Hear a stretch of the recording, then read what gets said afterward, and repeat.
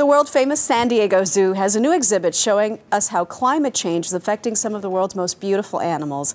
Senior keeper Rick Schwartz has brought some of the cute critters this morning with us. Hi, Rick. Good morning. Good morning. Thanks for having us. Good morning, Mr. Fox or Miss Fox. This Miss Fox. Miss this is Fox. Tundra. She's an Arctic fox, right? Yeah, she's a five-year-old Arctic fox, and uh, our our polar, yeah, she's a little nervous with the lights and everything, but she's she's also comfortable in the arms like this. This is not absolutely, you know, something that would be a pet by any means, but something that is uh, an animal that's been hand raised and worked with by professionals. This so. is an animal that thrives in frigid temperatures, hence the name. Yes. How is this animal uh, Well, in danger now? Well, the problem that we're having up in the north, mainly with the polar bears, uh, there's not enough ice forming up there, so the time for them to hunt for their food is being diminished.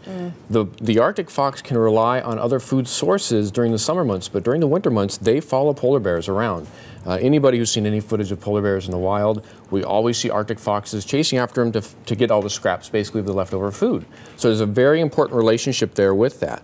The polar bears can't hunt bring food out in the wintertime for the Arctic fox. We're going to see them probably either their numbers decreasing also or possibly moving south, interfering with other species that would rely on the foods that they would be Right, using. So everything is connected, and it's, it's kind of an interesting uh, effect that's occurring up there. Important education. All right, thank you so much. We want to bring out our next guest, Mm-hmm. Okay. a Canadian lynx. Tell us about the lynx. Well, you'll notice when the lynx comes out, actually grab your paperwork, Oh, he's going to land right here. Oh my, big fellow. Yeah, this is hello. Ace.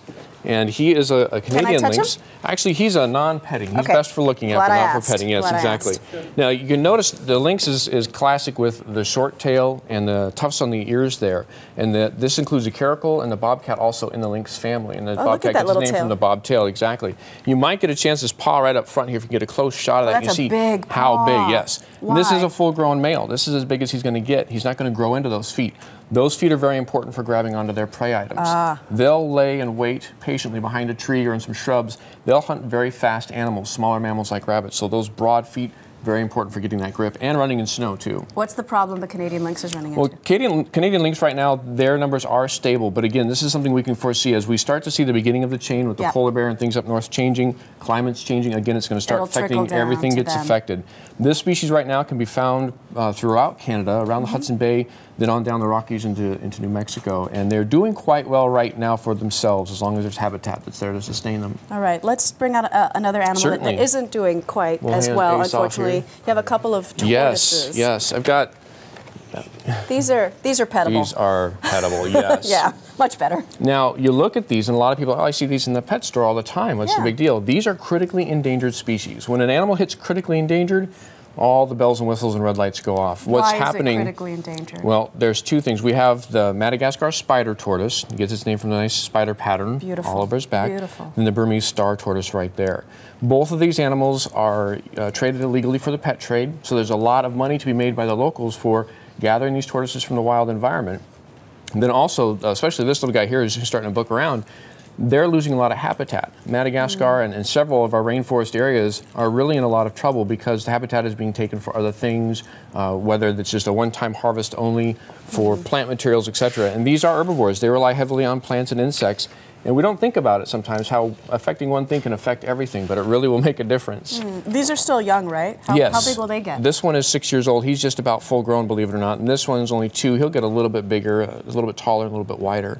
Uh, both are, like I said, though, herbivores that live in a somewhat temperate uh, and somewhat dry forest. It's kind of neat in the summertime when it gets really hot. Mm-hmm. You know, we think of hibernation as something goes down and burrows down to stay Yeah. warm in the winter.